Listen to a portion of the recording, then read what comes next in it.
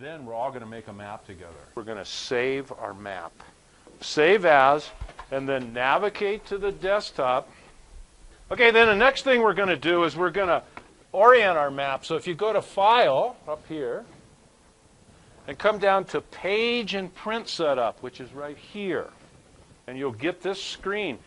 And what we want to do today is to make ours a landscape. So we touch on landscape, and then we do one more thing.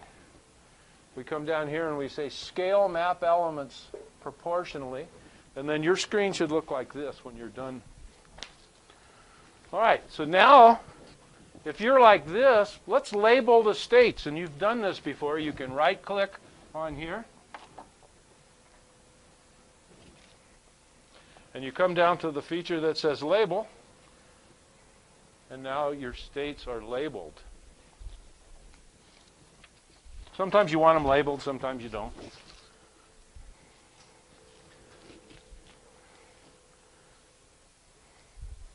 Okay, now we're going to do something that that um, is pretty cool. Is we're going to go to the symbology tab. So you right-click on this again, states, right, and go to properties, which is down at the bottom. And you'll get this screen. And we'll go to the symbology tab. We're going to pick categories, which is right here. Click categories. And then you'll have this picture up. So what we want to do is we want to add all the values of our state so that every state has a different color. So we hit add all values and you get all this stuff. Add all values.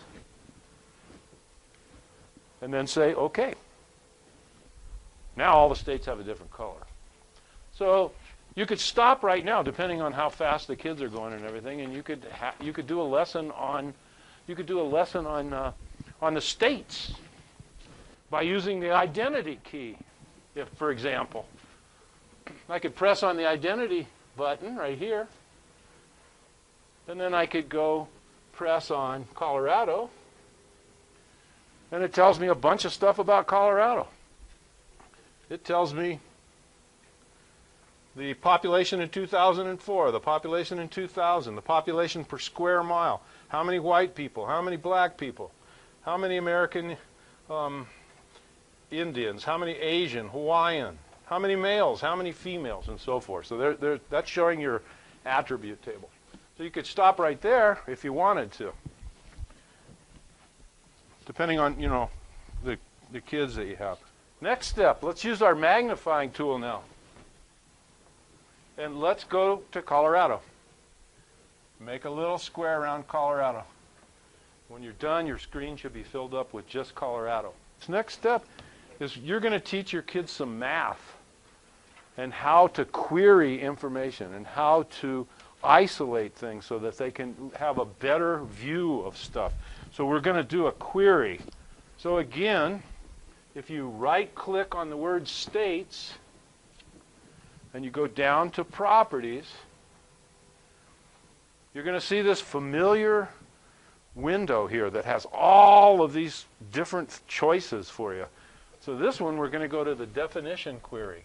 And then down here is a little bar that says Query Builder, and that gets you to another screen that will show you how to do the query. So hit Query Builder what we want to do is we want the state to be Colorado. So you double click on the word up here that says state underscore name. Double click on that and notice it appears down here in your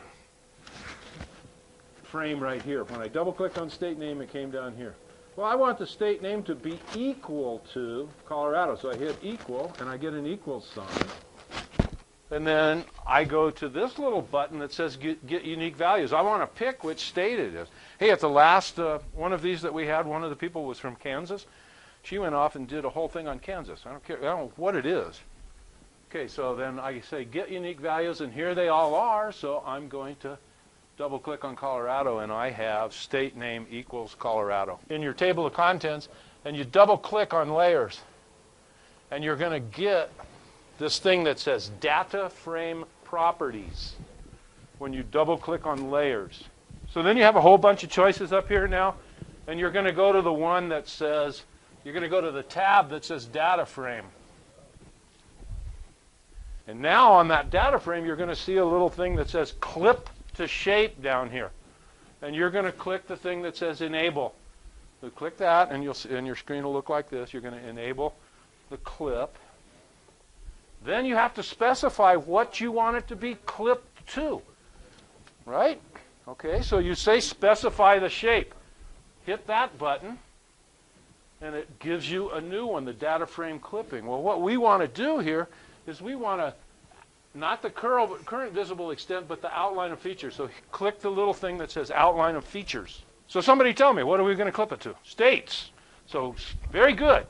So go down and pick states off this little key here. Pick states and say OK. And now you have only the counties Colorado. Let's go back to states and right click it and let's turn off the labels because we don't we don't want everybody knows it's Colorado, so we don't need to label it Colorado anymore. And let's go to counties, and you should know how to do this now. And right-click counties, and turn the names on. Use the labels for the counties. Now all our counties are labeled. We can actually show some data from your attribute table on here that'll be pretty clear. So I picked Hispanic. You could pick anything you want my kids, they always loved, they found my uh, block group, and we did block group, and they opened it up and got the information off of it, and they figured out that there was only two people in my entire neighborhood that were older than me. They thought that was the funniest thing on earth. okay, go to counties, right click on counties, go to properties, and we're going to go back to that familiar tab, the symbology tab. Symbology tab. Okay, when you're in the symbology tab, you have a bunch of choices. You've got single symbol, categories, quantities. Let's go to quantities and to graduated colors. So your little screen should look like this one up here. Graduated colors under quantities. Okay. So now we got to figure out, well, what are we going to what are we going to look at?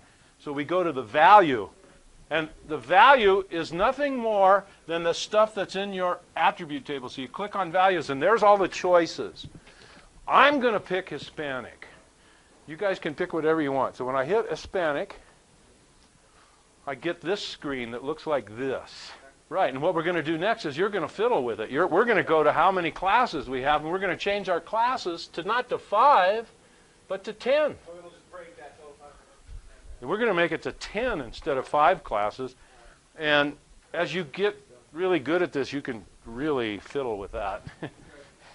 okay, and then you say okay. And look what we got.